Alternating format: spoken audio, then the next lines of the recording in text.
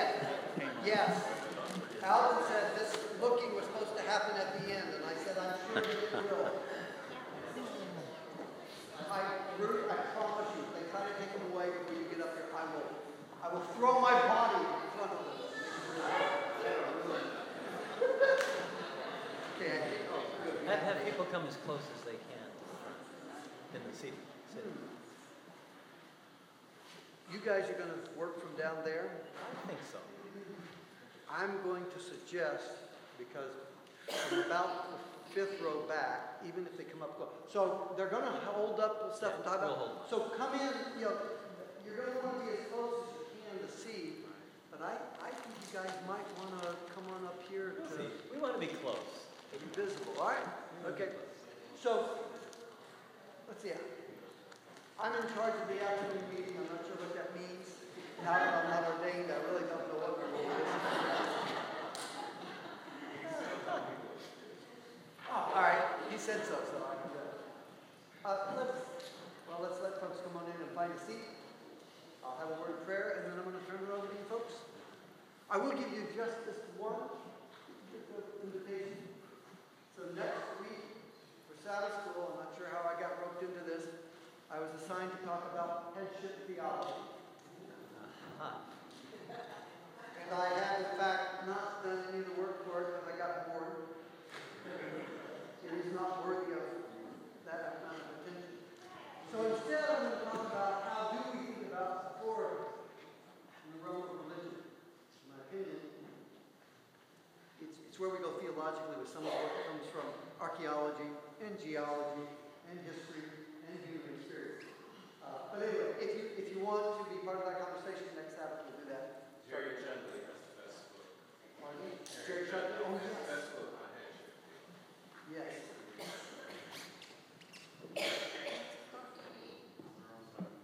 Well, I'm going to talk into the microphone for Mark. So, you know, I am not going to address the, the, the headship theology explicitly in my presentation next Sabbath, even though that was my original assignment. If you do want to read a serious engagement with it and biblical criticism of it, get a hold of the, the book by Jerry Chudley. And you know, he's going to take it apart systematically in a way that I wouldn't. I, I, I don't do systematic stuff.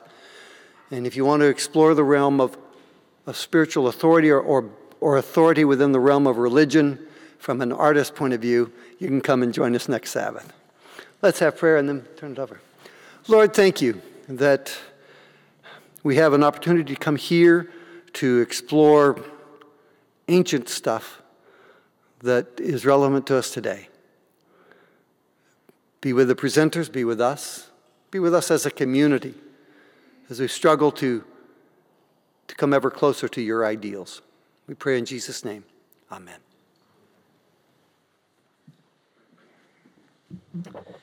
Thank you. Now, um, I'm just looking across the audience. I want to make sure that all of the younger people who would like to be can be on the front seat. Okay? Because uh, this is to, you'll be in close contact with these ancient artifacts. You're close enough. This is good. So we'll bring some stuff over your way. You're in good shape. It is a privilege for us to uh, be here this afternoon, and this is, this is for us kind of the fun part of the weekend. We hope it is for you too, where we take some of these artifacts, and I'll say something about the collection, uh, and actually take it, hold it, and say, okay, what does this tell me about a biblical story? Um, how can it illuminate uh, the, the scriptural story or the poem or the passage? And so it's been uh, it's something that we always look forward to. Um, and we want to make sure that you have a chance to see them up close. We would ask that you not touch them. You can kind of see my hands. um, everything we touch, um, although archaeologists dig this stuff up without these gloves on, um, and sometimes we handle them. We try our best to, uh, to do with gloves because then we're not putting our oil, our, the oil from our skin, onto these things. Uh, we'd like these things to last a long time, and so we're more careful. Metal, in particular, is affected by touching it with our hands, so we try to be careful. What you see here is almost all, maybe it is entirely, no, almost all, there are a couple pieces that we actually excavated at our site in Jordan, uh, Tall al-Umayri. Uh, but the rest of it comes to us because of a major uh, donation by a Jerusalem businessman. Uh, you've been to Jerusalem? How many of you have been to Jerusalem? And if you've been to Jerusalem, of course, you've walked the Via Dolorosa, right? Well, if you think about walking the Via Dolorosa, there are lots of things there, but lots of shops selling antiquities, right? It is legal in Israel, although lots of archaeologists complain about that because these are what we call unprovenanced. We don't know where they came from. Now, we get experts to help us. Um, Kent and our assistant, um, Christina, uh, have um, spent hours in the lab with uh, William Dever, who is, is one of the best known archaeologists in biblical archaeology. And he can say, well, that looks like it comes from the area of Hebron or Hebron. So, you know, that's, he's got a phenomenal memory and he just connects these things in ways that, that are, we think they're not magical, they're not mysterious because we can test them. But in any case, it's amazing to watch. Uh, so we we know that these artifacts, and we have in our collection from the Jerusalem businessman who knew Larry Geraty back in the 70s, and that's where the connection started. Um, we now have somewhere between 12 and 15,000 uh, artifacts from that collection, which is why it is the largest collection of Holy Land or Southern Levant or Israel, Palestine, Jordan artifacts anywhere outside of Israel. Uh, people don't have those collections. We have some lamps here, and Larry's going to be talking about lamps. We have lamps here from the time of Jesus. We have a hundred of those, over a hundred of those. We've got 1,500 lamps altogether. We've got 1,100 coins. We have more Roman glass. I only brought one piece. It's fairly fragile. We try to be careful. Um, we have more Roman glass than the Getty Villa. We work with the Getty Villa on some of our lab work, and they say, Where'd you get all this stuff? You guys are too lucky. Our, our dilemma is, and I just want to say a word about this before we start picking these up and looking at them. Our dilemma is that because we don't know where they came from, we don't know their story.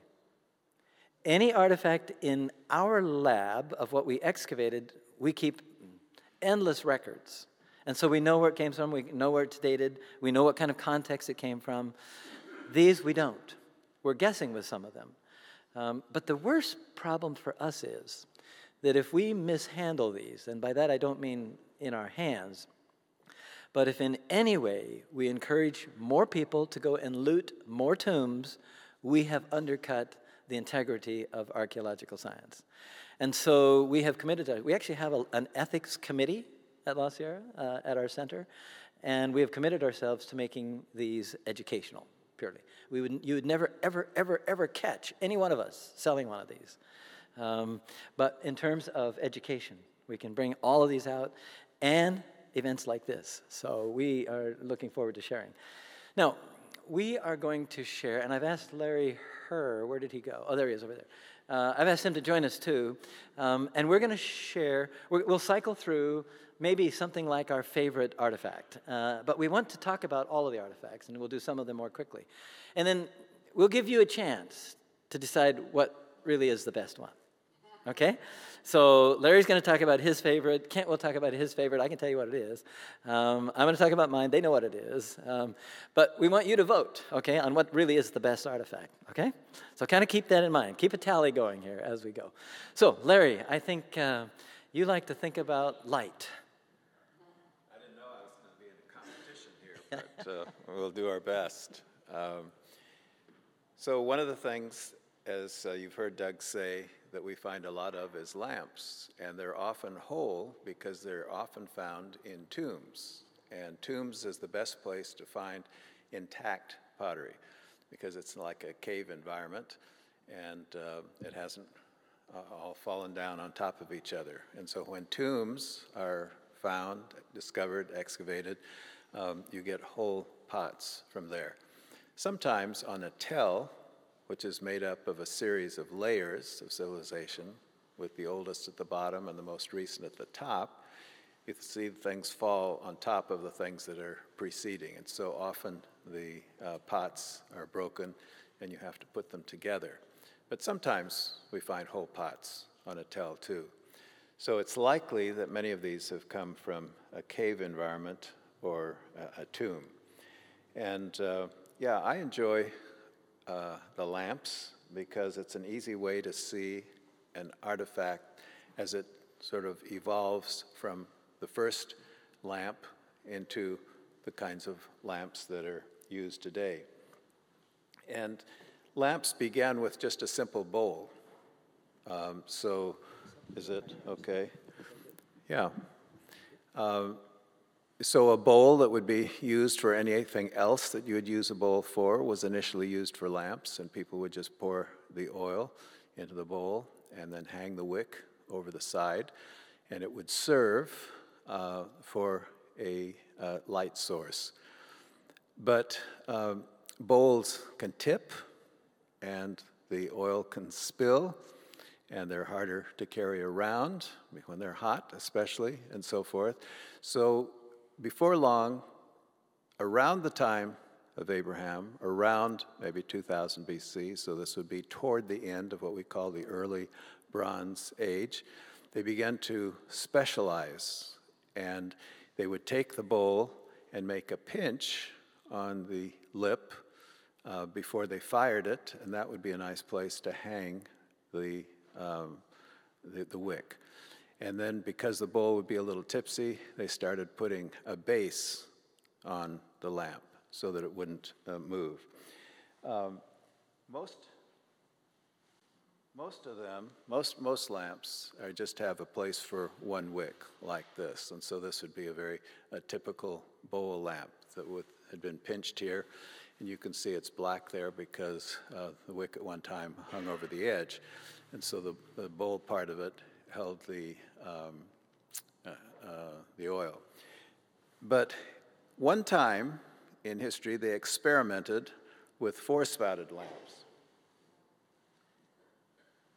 So this is a relatively small one. Several of them are larger. So before this bowl was, uh, was fired, they had pinched for, for place. And, and this is only during this time. Sometimes it's called the Middle Bronze I or the Early Bronze 4. It was this transitional time between the early and the Middle Bronze Age, roughly the time of the patriarchs.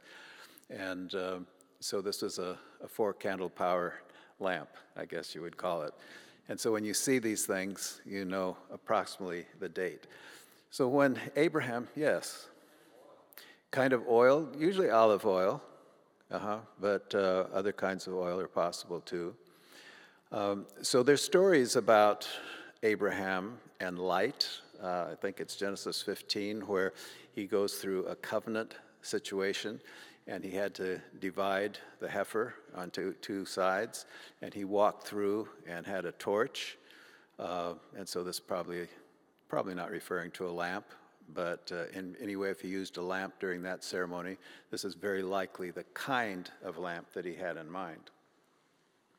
Um, so the next, the next couple are from what's called uh, the Middle Bronze, and very typical. It still had the bowl shape at the bottom, but this, this pinch uh, used for the end part of the, the Bronze Age. Then, as you get into the Iron Age, you can see that often they put a very uh, more substantial uh, base on it so that it wouldn't tip. And the pinch becomes much deeper. Um, and that would be the kind of lamp that would be in the, most of the, the Old Testament period. So David and Isaiah, Jeremiah, Ezekiel would have seen these um, as a lamp. When they refer to a lamp, that's what they had in mind. So the Psalms, for instance, that talk about your light is like a lamp unto my feet, a light unto my path. That's what uh, David had in mind when he wrote that.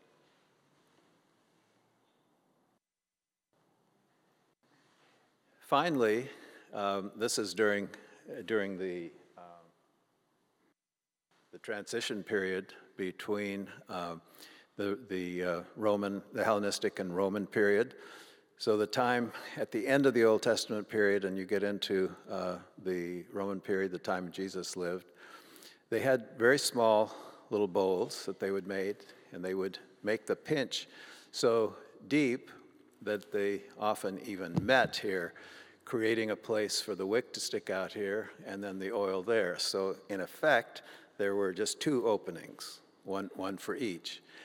And at the same time, people said, well, why do we make them that way? Why don't we put them in a mold and make the top and the bottom different and, and put them together and make it so it has two holes, one for the oil and one for the wick?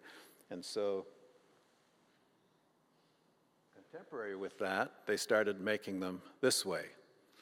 So, uh, this is sort of joined while it's still wet. The top was made in a different mold from the bottom and put together. And so when we think of the Herodian period, the time when Herod the Great and his successors ruled in Palestine, the kind of um, nozzle that this is, it's got a little splayed, only appears during Herod's time. So when Jesus told the story about the, the virgins who came to the uh, wedding feast, Five were wise because they brought an extra supply of oil, which of course would be needed if you're going to have this on for very long. Or the five who didn't uh, were foolish.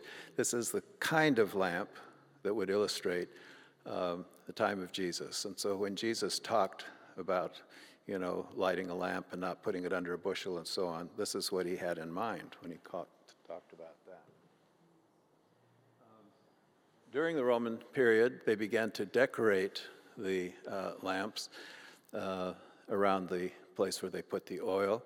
You can see the bottom two has a very interesting uh, design, and these are typical of the later Roman period, maybe the second, third century.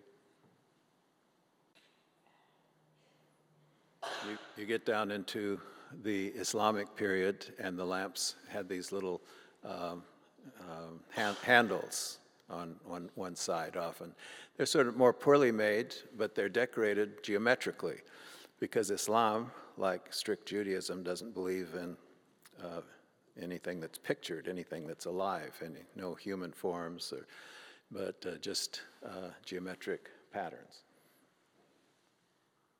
So you can trace the, and then, then later on in medieval times, they begin to, to, well, even in Roman times, they have metal lamps because they're made in molds. And uh, uh, in more modern times, of course, the lamp has uh, developed into forms that are familiar to us. But anyway, that briefly shows you uh, one class of objects and how it developed through time. And you can look at the, the uh, texts in the Bible that talk about lamp and know what the author had in mind by that kind of sequence development. So, yes, question about lamps. Okay, uh, the way how did they how did they light the lamps? So you know how pathfinders do it, and so they they did it that way too. But they often had a source that they kept going, and so they would go to that source that was already uh, a fire burning or coal or something like that, and then carry it from that place to to the lamp. Yeah.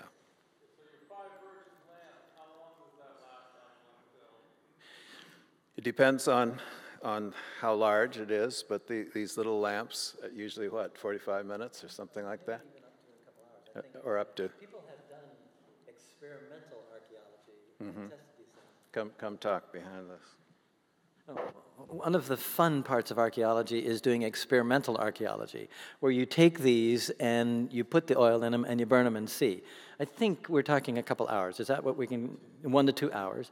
Um, experimental archaeology by students. Students are the craziest, most creative people there are. Uh, and what some of what they have done is to take these lamps and determine how much, uh, how many lumens they generate. And it's different in an open lamp like this one, like the bowl lamps, it's actually twice the light that a molded lamp provides. Um, and these, I think, a lumen or so, um, well, a couple of lumens if you've got an open one, but it's, it's down to a lumen or something um, fairly small. They don't light up a lot. You can still trip uh, in rooms that are lighted by these candles. So, okay, uh, Kent uh, next, and then Larry, if you would follow him. Uh, Well, I like cooking pots. I think they tell us a lot about a, a society. They also change nicely over time, kind of like lamps do. Um, I'm going to pick up this, this one we have. We don't have very many whole cooking pots. Uh, the, the Roman ones are more common than, than uh, most of the others. Um, they, they're from tombs, but we don't have. I'm trying to get this thing on my hand. If OJ could do it, I should be able to do, to do it. Okay, I think I, I'm innocent now. Um, yeah, so this is a Roman cooking pot.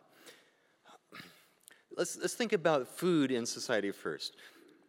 So many things revolve around food. After all, we just shared meals together. Those are very symbolic, aren't they? Um, a meal between rivals cements a peace, doesn't it? Uh, food or the lack of it can send people to Egypt. This is where Abraham went when there was a famine in the, in the land, where his, his um, grandsons went, Joseph's brothers, right, when there was another famine in the land. It's a repeated theme. Um, food also defines uh, communities. Uh, think of the recipes. Think even the way they're cooked uh, defines again uh, communities. That familiar taste. We can we identify a certain type of Moabite cooking pot, and it was distinct from the Ammonite cooking pots. Why? Well, there are regionalisms, but they probably associated it with you know, something unique about their food. What would they be eating in biblical times? If we go back to, say, Isaiah's time, what would they be eating? Uh, think of three meals a day a, a, quick breakfast before you go out to the field to work, uh, something maybe while you're out there, you come back very quickly, and then the main meal in the evening. Uh, what would they be eating mostly?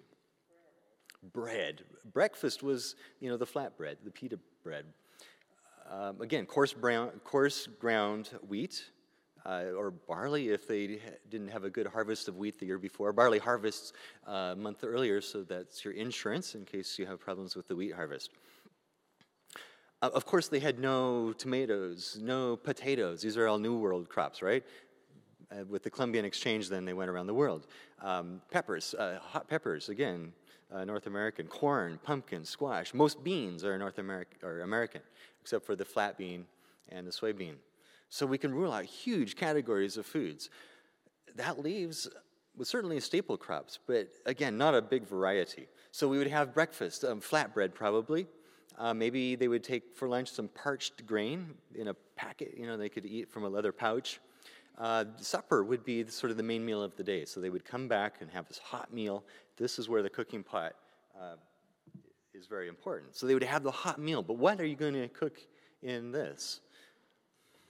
Some kind of stews, yeah. So you'd have, again, you could have some grain in it, um, but probably lentils, particularly the garbanzo or chickpeas, would be a, a real staple. Just um, they're still a staple in the Middle East, aren't they? So again, or you think of Esau's stew of lentils, right? Uh, that Jacob coveted and sold his or bought the birthright for. Um, again, uh, limited fresh vegetables in the wintertime. This is really clear to us as we examine our skeletal remains from the dolmen, the, the early Bronze Age uh, tomb group that we're working through now in the lab. Uh, vitamin deficiencies. You wouldn't think vitamin D would be a problem in the Middle East, but yeah, these people were living on grains throughout the wintertime. And from the fall harvest on, they had very little fresh uh, vegetables. So we see various kinds of vitamin deficiencies. Cooking pots themselves can tell us a lot about uh, the times. I, I like cooking pots because they change rapidly over time. They break. They're not very durable. The large storage jars, which they use like pantries in their back rooms, um, could last 100 years. Ethnographic comparisons uh, with traditional societies in Cyprus have shown that they can last easily 100 years. So you find a cooking or a storage jar in an excavation, you better not date the whole building necessarily from those storage jars. Look at the whole context, the whole set of artifacts that you find. And cooking pots, why, do, why would they break more frequently? They're used a lot, but there's more than that. It's the, exactly the fire, the thermal stress, the expansion and cooling, expansion and cooling every time you cook with one. Um, they tried to, to prepare a special material for that. They would add calcite into the clay matrix. So this would also serve to spread the heat evenly, like your special frying pan that has all those features in it that will make it cook evenly. Um, yeah, but they still didn't last all that long. Maybe, you know, uh, every few years, uh, at best, the cooking pot would break. And of course, things that change over more quickly um, change in style more quickly. Everything humans make have, are touched by artistic, uh, uh, decorative uh, motifs. So the rims are most characteristic. And we can follow the developments over time, as well as the overall forms and the type of finish on them, the color. But you can feel when you touch a cooking pot, you can just feel from the wear or the material that this is a cooking pot. Um, so I think that for me defines much of what it meant to be an ancient Israelite, to eat in biblical times. It tells us about um, their economy. They didn't kill their animals very often to eat. It was only for special occasions. They could make sort of a, a shish kebab very quickly. 20 minutes, you know, you could kill the lamb and you could um, bake some flatbread. Think of Abraham walking, you know, sees the three strangers coming along the road and, and invites them in. And he prepares the, the meat dish and the bread dish in probably less than half an hour. You probably couldn't do that today, or you wouldn't think of that. Uh, but anyway, so they were largely dependent uh, on the, um, not on the animals for their food because they used them for secondary products, the wool, the milk. And you would only kill the animals when they had exceeded their productive period uh, lifespan eh, for producing those other products. All right, I think uh, I'll turn it over to Larry. Yeah.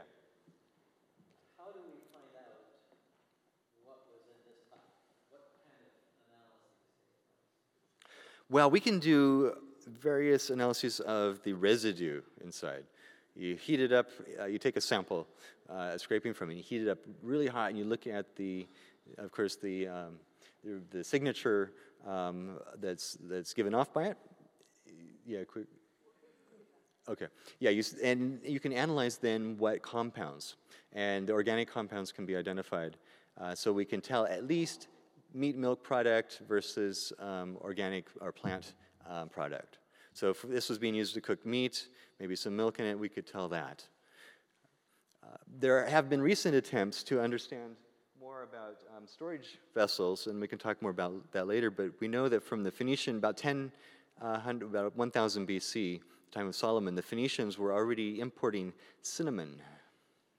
And they were, uh, we, since we don't have one here, I can talk about it. Um, the pilgrim flasks, these are little, um, they look like uh, basically like canteens, um, but they probably weren't used mostly for water. They could use animal skins for that. Um, but they had high value contents. And eh, probably in Cyprus or the coast of Phoenicia, they were repackaging uh, the cinnamon that was being imported from the Far East because the cinnamon wasn't growing outside of its native range, uh, certainly not west of, of Ceylon, Sri Lanka, but really from from Southeast Asia and Indonesia until the post-Columbian period. So we know this is coming clear across Asia, uh, down around you know India and Africa, or up through the Red Sea, and um, then being um, utilized in these second, secondary uh, spices and, and ointments and so forth.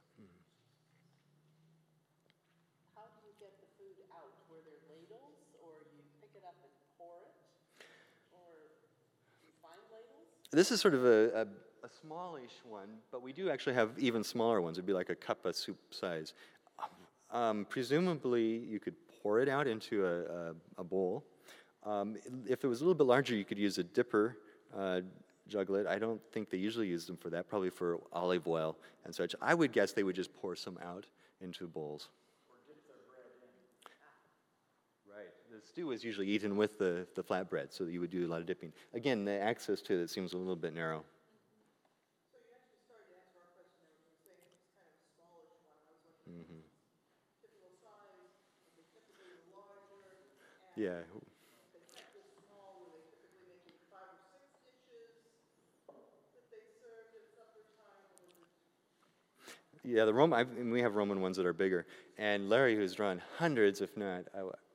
thousands, of cooking pots. I mean, yeah, typically it could easily be that, that big. So you would easily dip your, everybody could dip together.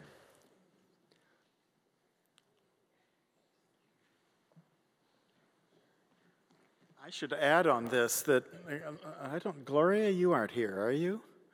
She's writing a book on this how pots were used and what was cooked in them and how they were eaten. I've, I've read portions of it too, and it, I don't know when it's going to come out, but it's really going to be interesting for you dietitians. Can we just choose, Doug? Oh. I'm just retired so I can talk about this one. It's a jug, you see, with a spout. And do you see the strainer right here? It was a beer jug. yeah. Um, the Bible doesn't say, Thou shalt not drink alcoholic beverages. You can't prove that to me. The Bible te- actually teaches temperance and not abstinence.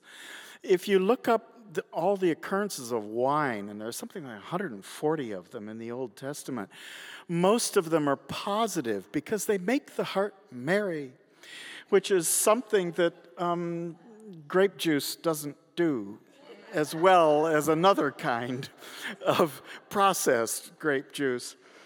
But another favorite drink in the Bible they talk about, a little bit more derogatorily than the wine, is strong drink. Now we know that the Hebrew word behind that strong drink in Babylonian is what was what they used as beer.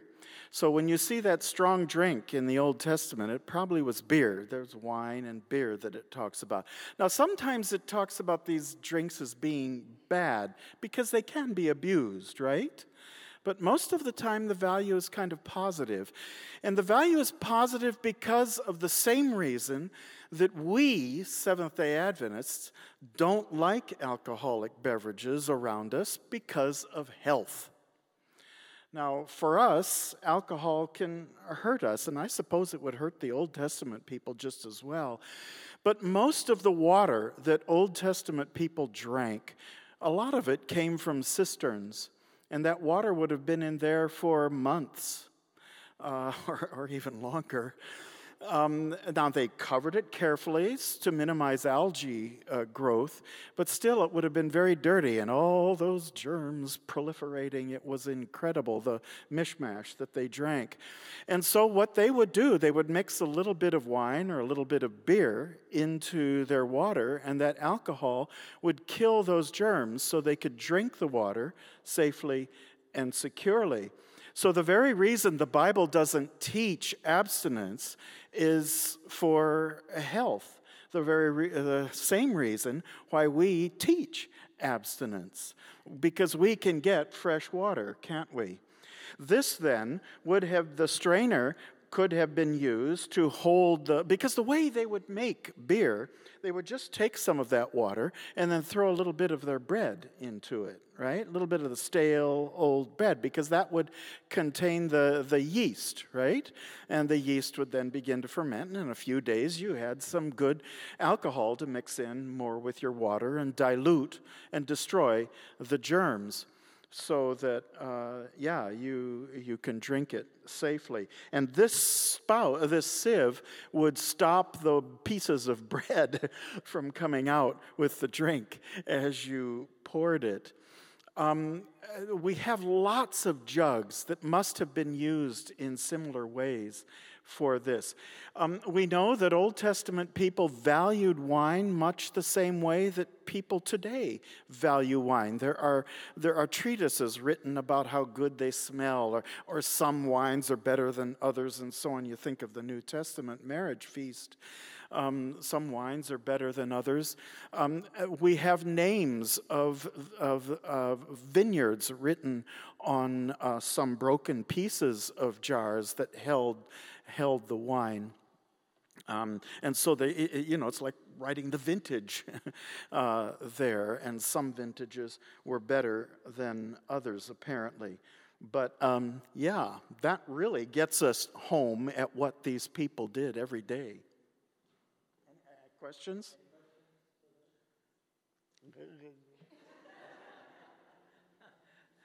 Yeah, make sure. There you go. There you go.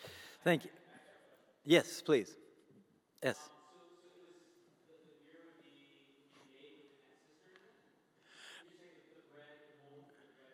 No, uh, well, they would take the water out of the cistern, put it into a, a, jar or a jug like this, and then throw the bread in. We even have ancient, um, well, we have ancient scenes of people, uh, of artwork of people drinking beer out of jugs like this with long straws. And at the end of the straws were filters that would also filter out the, the lees or whatever you call that from the, from the bread it would happen in there.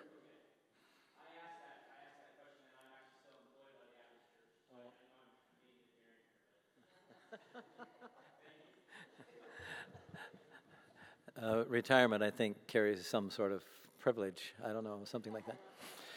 Okay, so we have seen three artifacts. Uh, we have seen my brother Larry's lamps, my other brother Larry's um, beer jug, and then my brother Kent's um, cooking pot. So far, where are you? Which of these do you like the best? Uh, what about the lamps? Is that, is that one of your favorites right now? Okay, what about the beer jug? Remember, remember, we may be watching you. Okay, okay. What about the cooking pot? Now, Kent is sold on these cooking pots, so some of you need to be. Okay, good.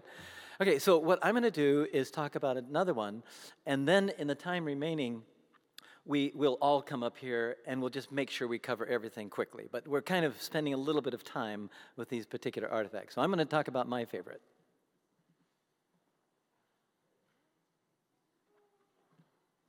I went to the other side of the table and picked up this stone implement. It is an upper milling stone. Um, and it's, we, we find them all the time, mostly broken but you can still use them when they're broken. I mean, people didn't throw things away. There was no garbage, there was no garbage pickup. Uh, a few things got burned over the side of the city wall, but otherwise you kept it. And so if this breaks, you can actually make a smaller little hand grinder out of it too. So it was very resourceful. But this upper milling stone uh, is interesting to me for several reasons.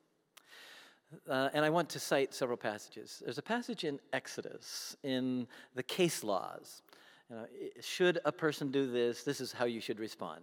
If your ox uh, gores your neighbor, this is what you're supposed to do. If your ox keeps goring your neighbor, this is what you're supposed to do. That's one. That's in Exodus. Okay.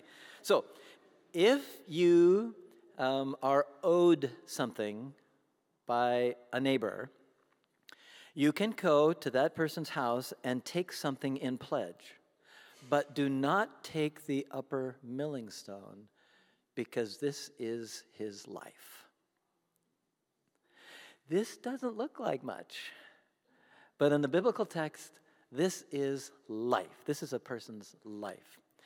Um, other passages with uh, this um, millstone, or one like it, if, if you think about uh, actually several passages that deal with good times and bad times, happy times and sad times.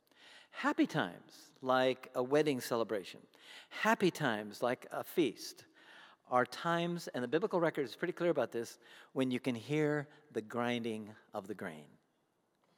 If you can't hear the grinding of the grain, it's because some kind of disaster has happened and there aren't people to do it.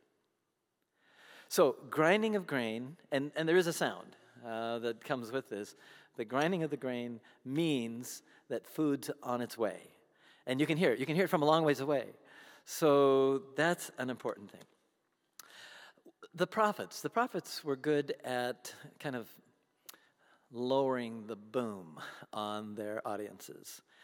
And one of the prophets, I think it is Micah, uh, Micah just goes absolutely berserk when he talks about how the poor are being treated. And he talks about chopping up the bones of an animal and eating it and then separating parts of it. In fact, he even gets the eating out of order. He has, he has the abusers eating this chopped up lamb before the whole thing is finished, before it's cooked. Uh, so he's just out of his mind. Um, and he also talks about people who take a grinding stone and grind the face of the poor into the ground. That's not quite the happy thought, but it's certainly graphic. One would think about that.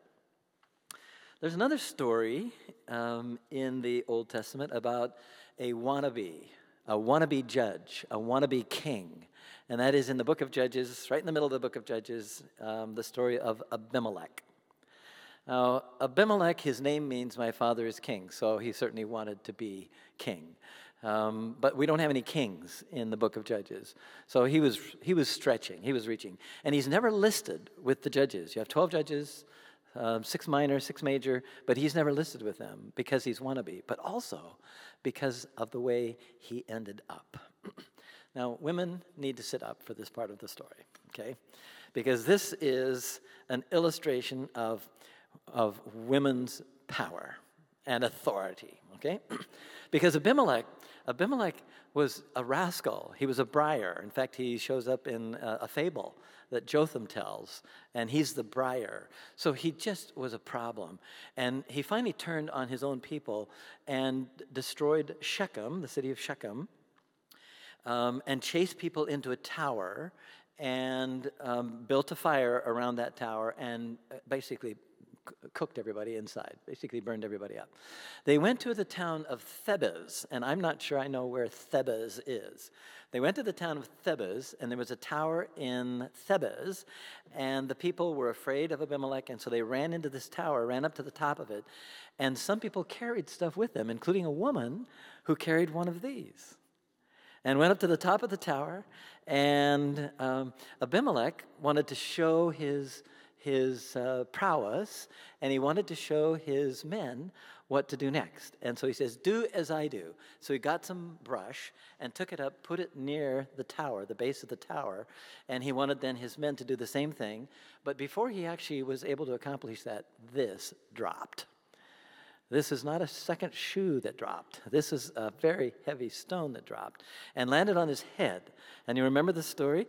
He was embarrassed. Uh, it hurt, of course, of course. Uh, but he was embarrassed and he said to his armor bearer, he said, Take out your sword and use it on me, thrust me through, so that it can never be said of me that I died at the hands of a woman. That's how we remember Abimelech, is because he died at the hands of a woman with one of these.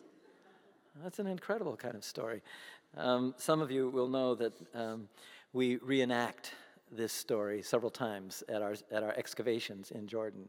It's only the women that can participate, and they can take these sections, not the complete ones like this, but take stone and go up to the top of our four room house.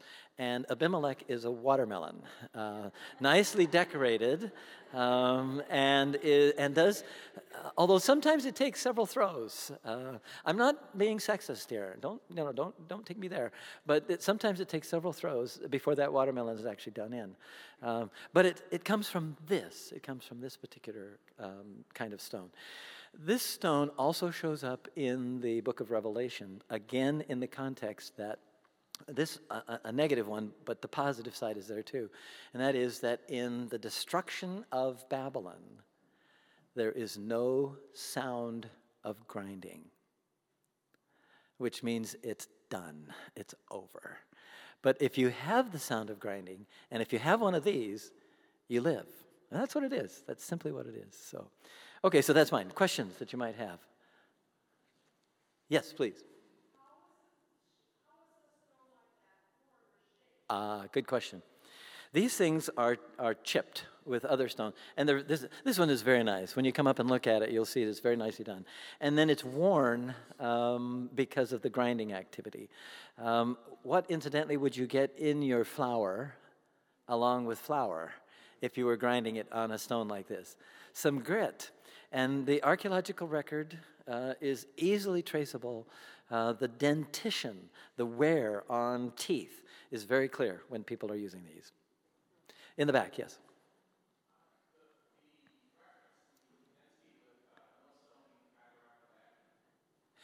Right, excellent. Um, that's probably, it's, it's not impossible that it would be something like this, but it's probably the larger industrial um, millstone. And you can see, if you see pictures, archaeological pictures of Capernaum by the Sea of Galilee, you've got these huge, massive things. And I suspect the way Jesus uh, told stories, he typically did so with, uh, with intention to be, to, to um, use hyperbole. And so I'm assuming it's something like that. So if you mistreat the children, who may actually in Matthew be the young converts, if you mistreat the young converts, it would be better for you to have a, an, a, a milling stone, a, an industrial sized milling stone, wrapped around your neck and thrown into the sea. Okay, I think we had a question here, please. ah. That's right. So the question is um, maybe, maybe, if I could rephrase it, uh, where do they get these things? Um, these are uh, basalt, so they are lava. And there are lots of outflows of lava that happen over uh, periods of time. And sometimes they're fairly thin layers, sometimes they're fairly thick. Um, out in the eastern desert, uh, down by the Dead Sea, uh, up in the northern part of Jordan, for instance, there are places, uh, but you'd have to go get them. And we actually have um, uh, had a student do a master's thesis on these stones, and she suggested that when you went to get them and put them on a camel, it was big pieces. By the time you get to using them, some of those will break, and so you just remake them into something else. It's it's the, it's the way to do it. So, um, but it would be with probably with camel carrying with camels. So I think we had one more question. Yes, please.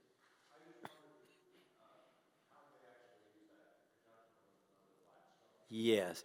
Um, we don't have one of them here, but this would be put on a big, um, we call them a saddle quern, uh, a grinding, a lower uh, milling stone. And so you would then take them and go back and forth. I think that everybody ought to do that. Maybe we should have brought with us one of the lower ones because you really ought to do it and see how long it takes to get enough flour to make anything. Uh, and then see how much grit you've got with it. Um, but uh, you know, you get used to it. You get, uh, you do it. You use them every day. That's why it's life. That's why you don't take this from a family, um, because this is life, and you need them every single day. I think there was one more question. Yes, please. Yes. Right. Actually, it turns out, and the question was about cultures in other places in the world, it turns out that these things are all over the place. They're everywhere. People happened onto them. Information may have transferred from one place to another, but people happened onto this idea. And when, when, when um, we talk about the agricultural revolution and the domestication of plants, uh, that made the seed. The seeds come, are they much harder, Kent? Uh, you've looked at this some, uh, the domesticated ones. And that's why you needed more of the grinding, right? Am I right on that?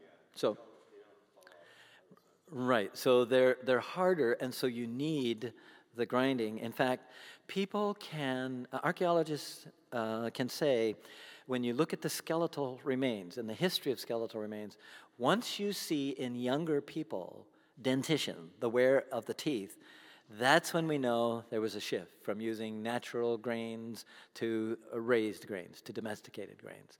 So we're reconstructing part of history by thinking about these things. So, okay, so I'm going to put this down, and I want my colleagues to come up. Um, and what we're going to do is simply walk through the table and just quickly say what these are and something about them, okay? So find something close to you and say something about them, and uh, then we'll get an idea. If some of you, especially kiddos, want to come up closer, you're welcome to do that. You want to come up here? Um, we'll watch you. Okay. Here's some human figurines um, that would be house, used in households for fertility practices, maybe, if somebody was pregnant and they uh, wanted to make sure that it was a successful one. Um, you know the story about Rachel, who was uh, on her uh, animal uh, leaving home, and Laban was upset that she had taken some of the, the uh, household idols. And why was he upset? Because these indicated uh, who was going to get the resources after Laban passed away. And the fact that she walked off with these meant that she uh, was taking something away from the rest of the family, and so he wanted those back. So um, it's interesting that we find lots and lots of female figurines during the Iron Age, but very, very rarely any male. So we think that they were not really idols that would worship, be worshiped, but they were good luck charms, or uh, as I say, fertility uh, charms, that kind of a thing. Anything more you want to add?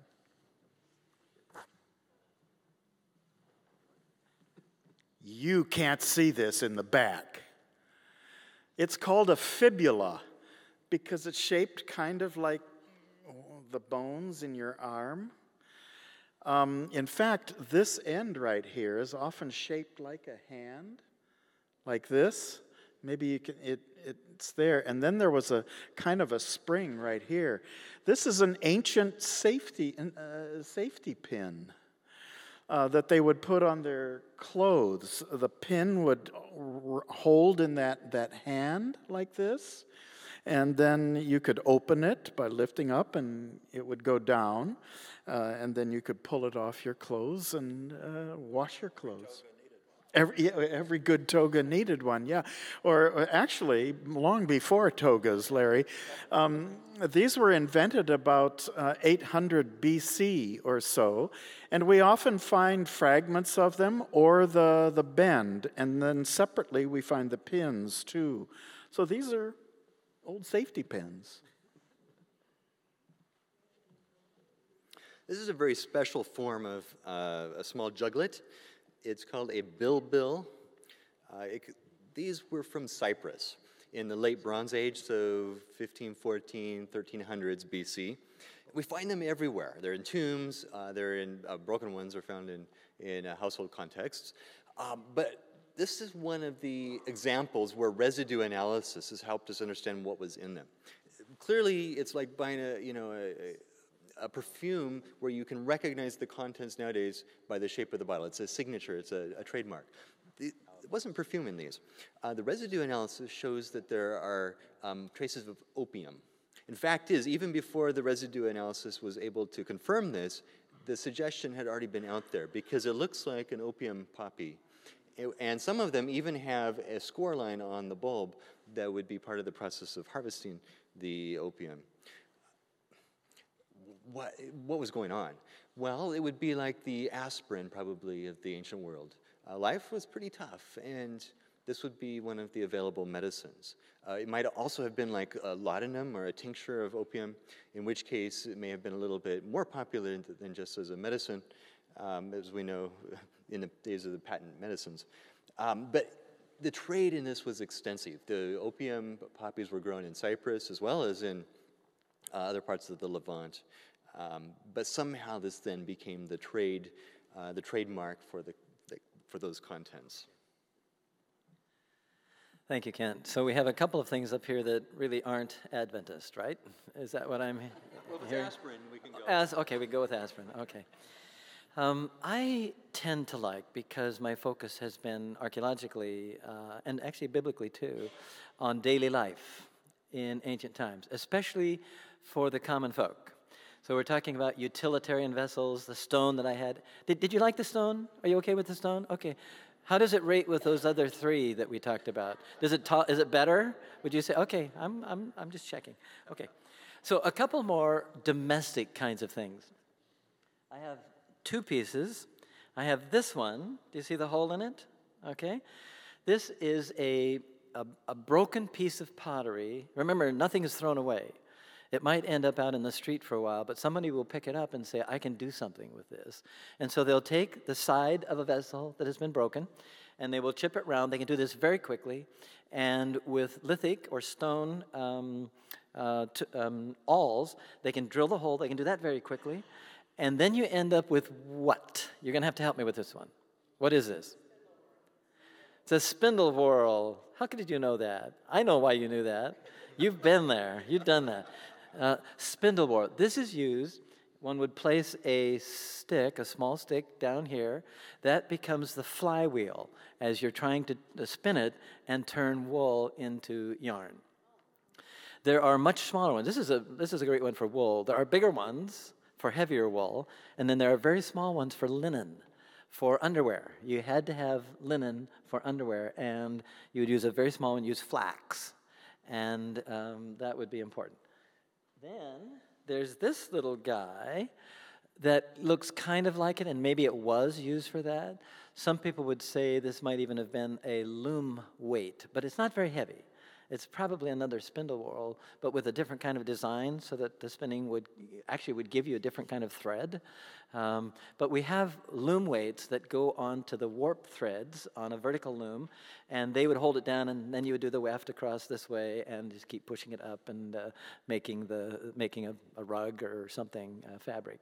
So we don't have much fabric from uh, antiquity. It, it's rots away, it's gone. But we do have textiles implements like this to tell us that that activity did happen. Okay. Just as with today, women liked to look their best in ancient times, and so you had to have cosmetic vessels. Um, and uh, this thing right here is made out of alabaster, so it's a little bowl where you could mix ointment and things like that to put on your face that would uh, keep it uh, soft and nice. Uh, this is a glass vessel. It's sort of a double vial. And on one side, you would put kohl, uh, which is used to um, uh, mascara, put black on, on your uh, eyelids. And the applicator would be held on the other side. So um, lots of vessels that we have with uh, higher, more expensive uh, materials are used for uh, painting your face. And, and that one is also not Adventist? And these are not? Adventists, Okay, okay. right?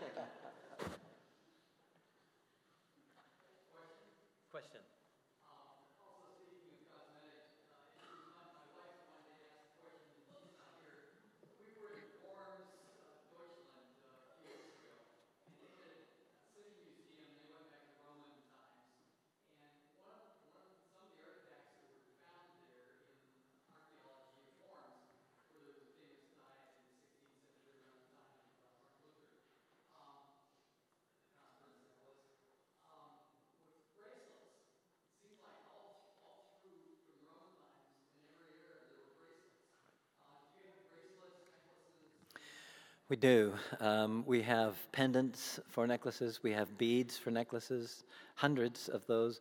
We have um, the first one you mentioned was yes, bracelets. We have bracelets and anklets. Uh, I could have brought one with me. They're they're relatively tough, uh, but the one I have uh, currently is a uh, glass one. And again, they're fairly tough, but I'm I'm not sure I want to break it because we don't get them that many, certainly whole. We get lots of pieces, broken pieces uh, that we find archaeologically. But yes, so people um, dressed well, especially the elite. This is particularly the case. Um, and they did so in part because of, uh, of festivals and celebrations and dances and weddings and uh, feasts. And that's when you would put on your best. Put the eyeshadow on there, men and women, um, and then have the bracelets and, uh, and bangles as well. So, right. Two examples of small um, juglets. Um, this is actually a, a, probably a tomb version of the pilgrim flask. The reason we can say that is besides the lentoid uh, shape of it, that is, it's not circular, it's, it's flattened, also it has concentric rings painted on it. It's really the only painted form of pottery that made it through from the Bronze Age to the Iron Age. Uh, traditions uh, changed quite a bit between those major periods, about 1200 BC. But again, this would not, uh, referring back to the ones with the cinnamon in them, this is the style, but it's just a miniature tomb version. Which leads me to um, pick this one up. This is a black little juglet, common in the Iron Age, 800, 900s, 800s, 700s BC, in tombs. Um, but the black is what I want to, to talk about. How would you get a nice black color like this? Well, when it's fired, if you reduce the, the, well, the flow of oxygen in the kiln, um, there isn't the ability then of the, um, the oxygen to combine with carbon with the carbon to make carbon dioxide, right? So the carbon gets left behind if you've prepared the surface properly with a, with a carbon-rich um, uh, finish, then you have this, the, the result then is a very black uh, surface. Um, we actually get a kind of pottery in the early Bronze Age, Kerak ware, which is red and black, beautiful glossy pottery. But again, its form, the difference in color is just when they're stacked together, uh, the oxygen can't flow and then uh, reduce the, the carbon to carbon dioxide. Oh, I have one question here. Oh, sure. The, um, painting comes back in, and, and in, on some forms in the Iron Age, in the biblical um, period of the kings, there are painted forms, yeah. And again, uh, it depends on the pigments that are used. Some of them don't become visible until after they're fired. Uh, so manganese is often used to make a dark uh, color, but um, again, the color changes in the firing process. Boys and girls, I have something you want. If you have an older brother or sister that's harassing you, you use this. It's called a mace head. And you put, you see how there's a hole through it? You put a stick through it and you hold it on the other end and you go bonk. Yeah, that's what a mace head is for. We have them in many Egyptian paintings, warriors wielding in tombs, warriors wielding these mace heads or these maces with this kind of end on them. Now, the interesting thing is about these, they didn't exist in biblical times. And I don't know of the Bible ever mentioning a mace as a weapon. Yet during the third millennium BC, the time before Abraham, we find these by the thousands. They're just everywhere. You find a mace head, you say, oh, yeah, that's the early Bronze Age, the third uh, millennium BC. So it's kind of a nice dating thing, but it's also a good bonker to keep your brother or sister in shape. I think we would. Uh, no. we might settle some controversies that way. I have a couple more, and then we want to close, but we, we want a little bit more question and answer. This is the stone that Larry Herr was thinking about throwing at Kent Bramlett, Mr. Goliath, uh, for the children's story, okay? Um, men, testosterone and all, tend to like the militaristic interpretation of these things as sling stones. When you find them, and we owe this to women archaeologists in large part, and you find them and you find a smooth part on them, this wasn't used for military. This was used in the kitchen. So, how do we interpret these things? Well, it'd be nice if they left a little message. Use, you know, the instructions, use carefully, um, and when you're pounding some uh, grain or some um, um, herbs in the kitchen, make sure you're careful. Don't, don't break the lower part. It'd be nice to have that. Or when you throw these at people, um, this is what you do with them. So a lot of people have shifted their thinking to say that um, probably most of these, or at least many of them, certainly the size, were used for pounders in the kitchen. That does not mean that the entrepreneurial soldier wouldn't pick one up from a kitchen and use it. And that probably does not mean that an entrepreneurial housewife wouldn't pick up a sling stone and say, I could use that. So we probably need to think about both of those. And then one more thing, and unless Larry, you had uh, another one that you want to do.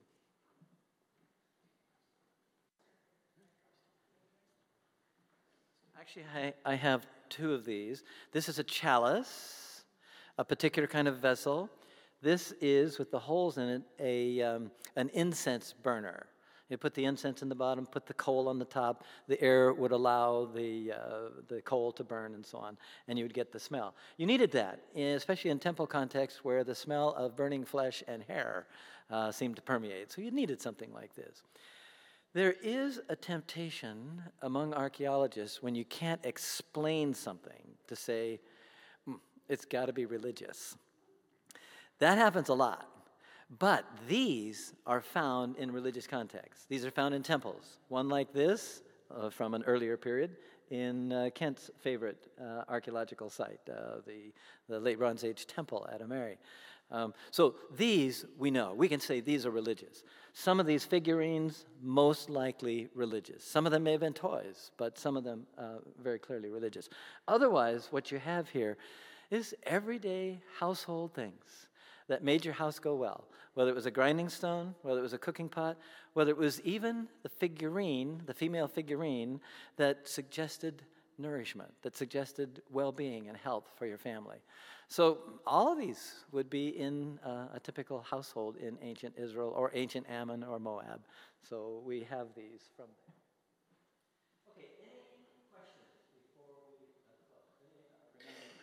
remaining, remaining questions? Please.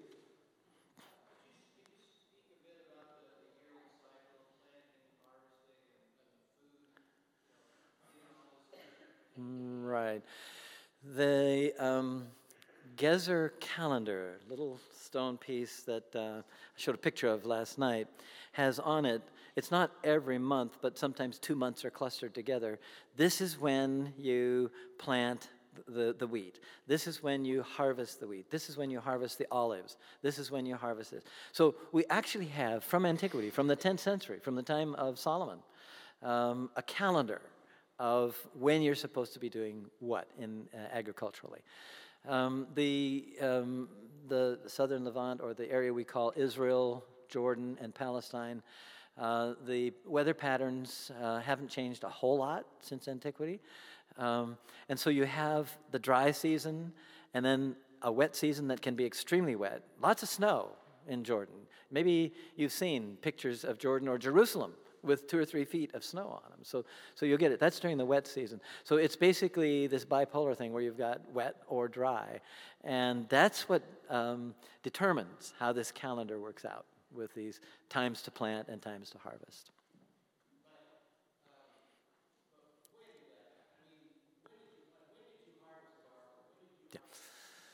If I'm remembering correctly, um, it's in, it typically would be something like May that you would harvest barley, and then typically sometime in June, sometimes toward the end, but the middle of June for wheat. Um, olives are autumn, uh, pomegranates are late summer.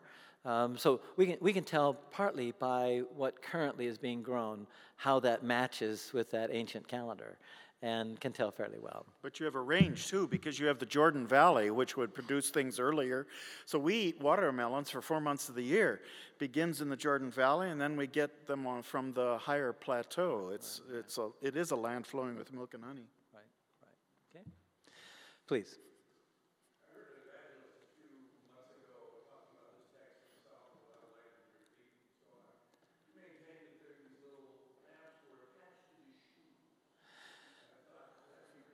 Lamps attached to shoes. Um, well, this is a slipper lamp.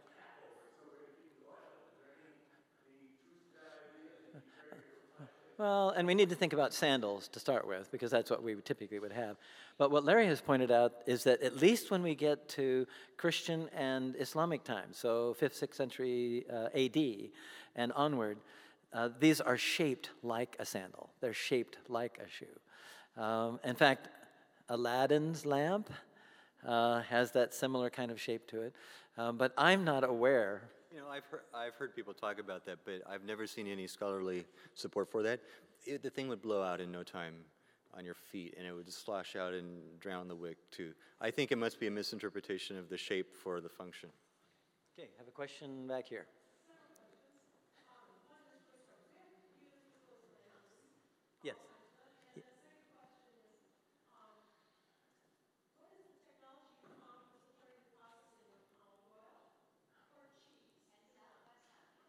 Okay, so the, the question about wicks. Um, flax was often used. I suspect you could use wool. Plant, almost always plant. Sometimes, typically yeah. plant uh, um, uh, fibers. Um, and then what was the next? The second one was. Yeah, yeah, the process of doing olives. We actually have quite a bit of archaeological um, information about that. Uh, at the domestic level, we actually excavated in one of these houses from 1200 BC what is called an olive oil uh, separating, a separation uh, crater. And it was about this size. It was rounded and had what we call a carination to it. Um, and then it had um, a spout on the top. And then at the bottom was a little hole that had been put there before the clay was fired. And it was used when you, when you get the olive oil, it's going to be mixed with water and other stuff. But even after you strain it, it's going to be mixed with other stuff, water and oil. And so you let it set in this separation crater, and you pull the plug to let the water out, and then you end up with just oil. So we know, and that's domestic. That's, that's in your household. Um, a, a, place that really everybody should visit sometime is Tel Marish, uh, uh, uh Mareshah in southwestern Israel. It is um, what we call an Iron Age, or probably 7th, 8th century uh, AD, uh, BC, um, um, partly underground settlement. And as part of that underground industries are olive presses. And these are huge things that people or animals had to push around. Um, they, they, had the presses, so you had this big stone, big round stone that, that would be pushed around uh, and then the oil would come out. That was put into fabric containers, and then that was placed at the fulcrum point of massive um, um, pivots, so that you you put it um, near the, the, the, the, fulcrum point, and then you would put stone weights on the other end of the beam, and it would just squeeze that down, and you'd let that do that and squeeze out the olive oil. So Yes, industrially and domestically, we do have quite a bit of information about this processing. Oh, cheese. Boy, I don't know about cheese. We like it, and it's okay. There, there were several words in Hebrew for in the Hebrew Bible for milk products, and the worry was to preserve the milk products through time. And so cheese would would do that. Lebanon also would, which is a kind of yogurt. the country Lebanon is named after that.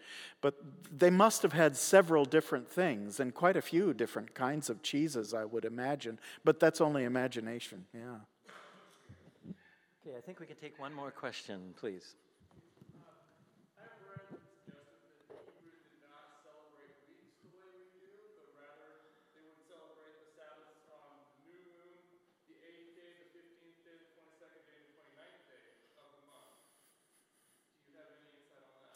You know, I'm going to look to my colleagues in Hebrew Bible too, but the challenge is that whereas we have festival calendars and schedules, including Jubilee, including the 49th year, and so on, we have those.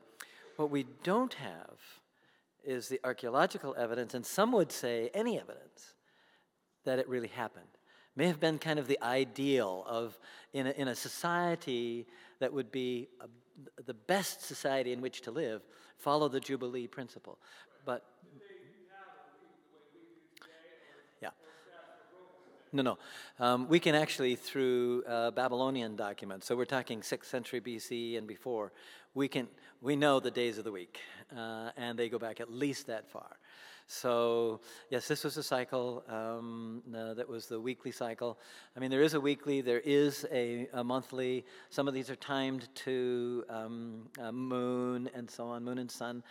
Um, some of them not tied to those at all, uh, like, like Shabbat, like Sabbath. Although the Babylonians had seven days, um, so did other um, Mesopotamians.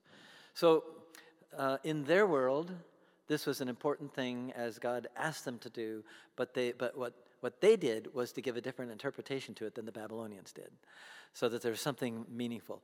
There's an interesting uh, piece in, um, hmm, I've forgotten where it is now. Uh, I might come up with the author if I was given long enough, like another 10 years uh, to remember, um, who talks about time quite differently than we think about time.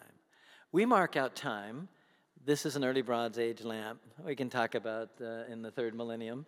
This is a, a, Middle Bronze lamp. We can talk about the second millennium. So we think in, in terms of chronology. But uh, what this author suggests is, and I'm, I'm really picking up from, from your question, uh, is the reason I'm coming with this, is that we ought to think in biblical thinking, we ought to consider in biblical thinking about rhythms of time rather than marking out chronological things. Uh, seed time and harvest time, those are annual rhythms of time. Marked out, okay, certain time of the year you do this, but nevertheless understood as life rhythms. And that might actually help us think about some of these time issues in the Old Testament. So, so I think uh, we want to close. Thank you so much for your questions. Thank you for coming. And thank you for the front row occupants here who could uh, look up uh, close and personal to these things. Um, we are excited about uh, archaeology. We're excited about the Old Testament in particular. That's our field. Um, we're excited about the, the discipline, and sometimes it takes real discipline to pull the archaeological record and the biblical records together. But we're excited about it, and it's something we, we get up in the morning to do. It's something that gives us a, a purpose. And we hope that part of that purpose has worn off a little bit uh, this weekend as we've spent this time together. Larry Geraty is going to have a closing prayer for us.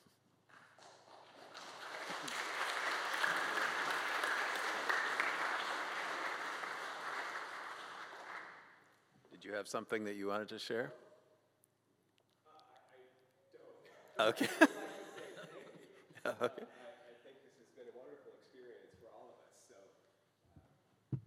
Thank you very much for participating uh, with us. Uh, and, um, you know, uh, we would, um, uh, it's not every day that you get to see this kind of thing. So, uh, from, uh, from all of Green Lake community, we, we really appreciate it. Thank you.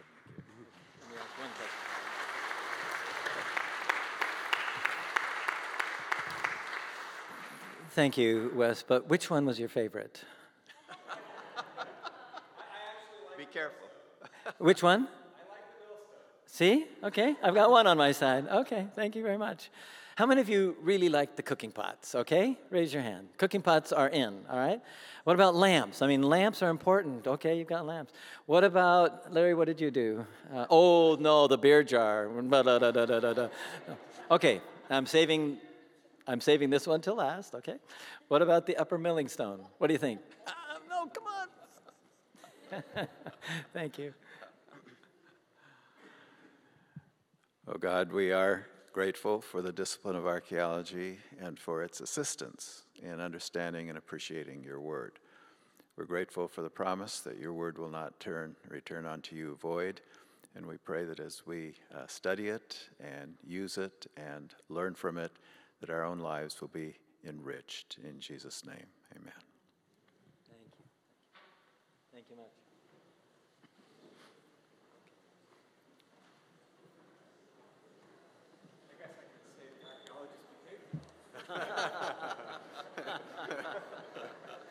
Some better than others. Larry was a little naughty. Yeah, right. Sorry, you might have seen it.